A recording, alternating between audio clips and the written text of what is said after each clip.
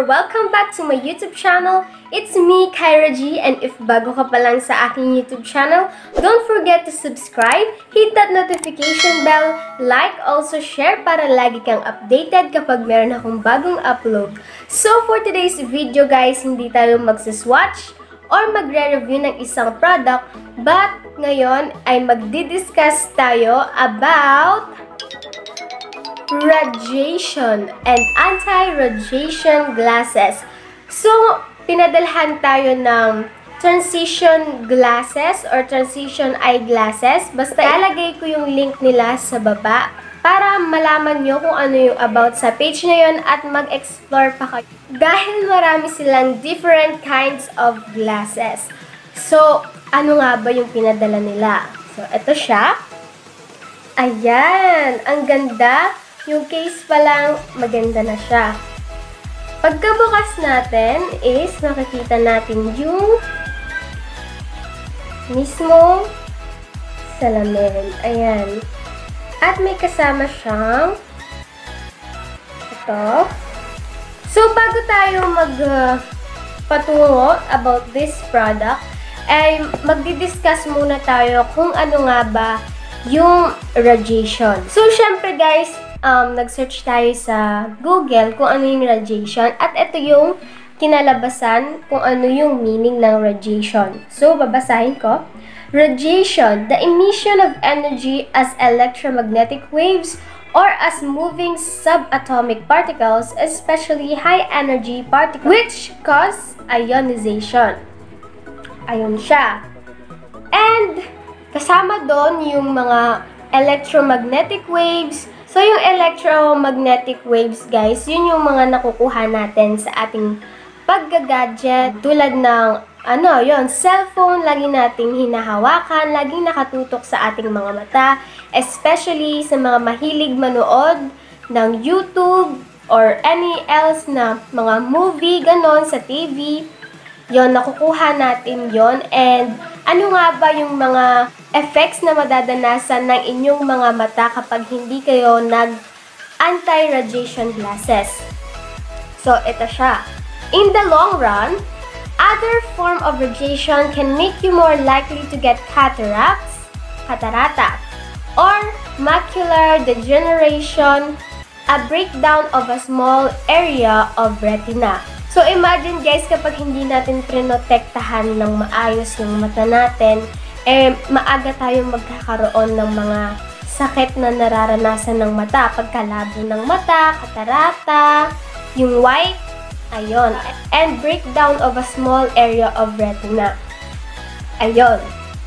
So, another pa na i-discuss natin is yung the advantages of anti-radiation glasses.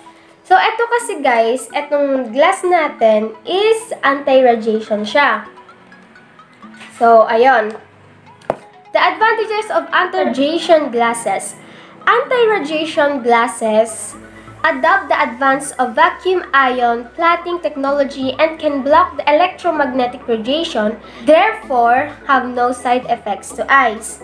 So, yung anti-radiation talaga is nakaka-protect sa ating mga mata kasi nga, as what I've said kanina, can block the electromagnetic radiation. Yung radiation na nagagaling sa ating mga gadgets kasi electromagnetic. Then, the lens contains anti-radiation materials which means it could absorb low frequency microwave and eliminate the potential symptoms like fever, headache, fatigue, and dryness. So, kapag gumamit tayo ng anti-radiation, nakakatulong siya para maiwasan natin yung uh, pag pagkakaroon ng lagnat, pagsasakit ng ulo, fatigue, at maiiwasan natin yung pagdadry ng ating mga mata. Kasi kapag nagdadry yung mga mata natin, dun yun na mapapansin na pinakamot nyo, ayun, parang uh, makati siya, ayun. So, Third, anti-radiation glasses have the function of penetration and absorption which vary according to the different light and the wearer would have a fresh and natural vision. So, eto guys, suotin na natin siya. Ayan.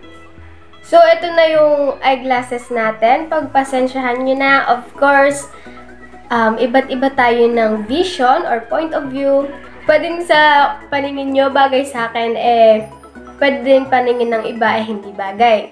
So, ayan, pagpasensyahan nyo na. Pero ako, gusto ko siya, yung design niya. Mamaya na tayo tumungo sa mismong glasses. Ano? Okay, ulitin ko lang. Anti-radiation glasses have the function of penetration and absorption which vary according to the different light and the wearer would have a fresh and natural vision. So, dahil sinuot na natin siya, i-explain ko sa inyo kung ano yung feeling niya sa bata.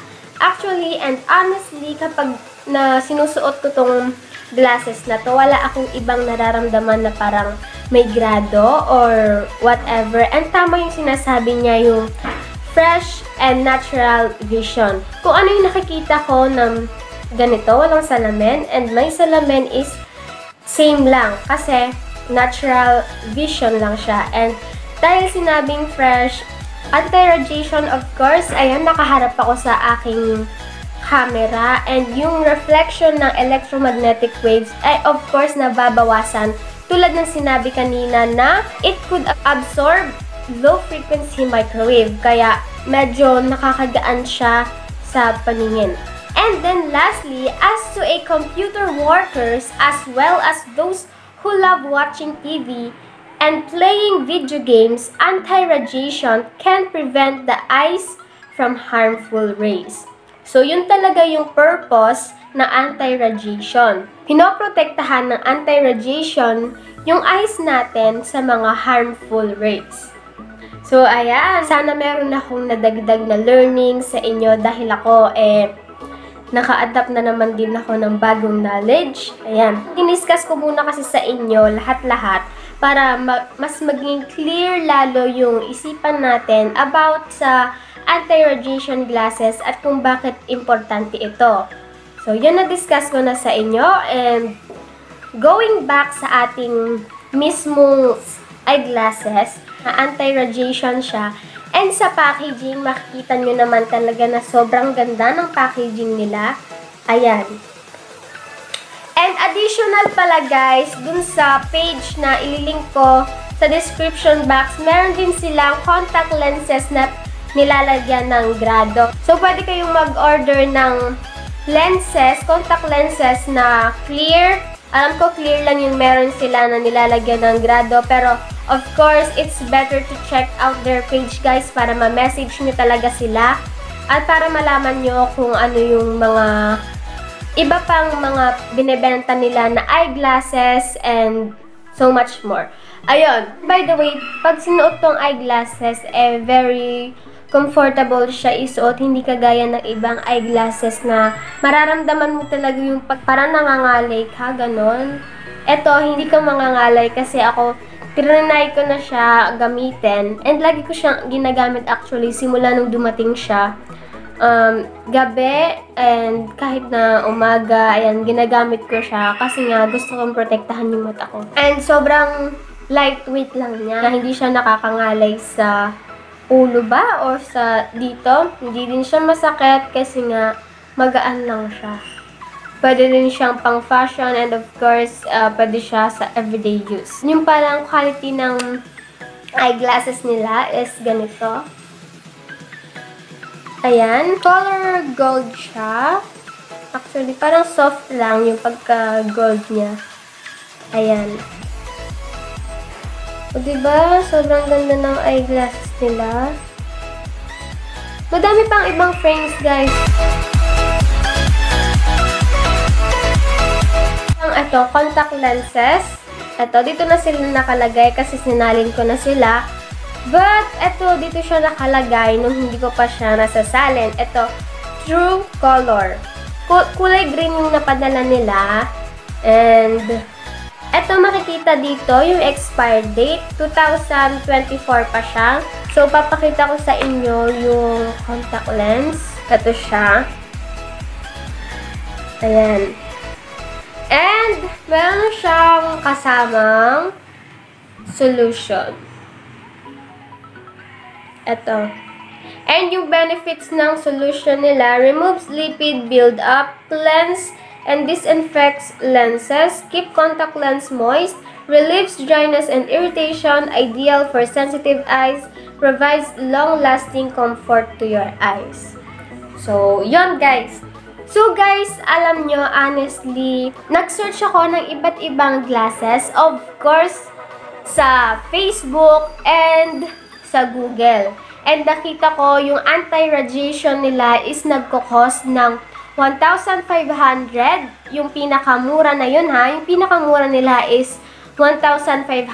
Anti-radiation din siya. And sa na-search ko yung mga metrosanis, ganyan, yung mga may tatak, yung mga uso at kumalat na viral na mga eyeglasses, eyewear sa dito din sa YouTube and all social media.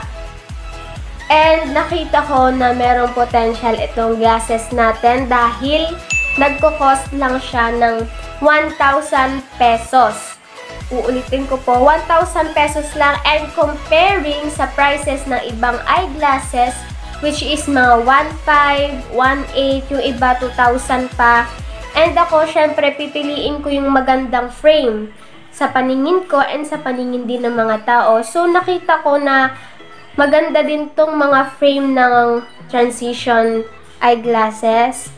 Kaya, kung ako sa inyo, check nyo na yung page nila na nakalink dun sa description box ko.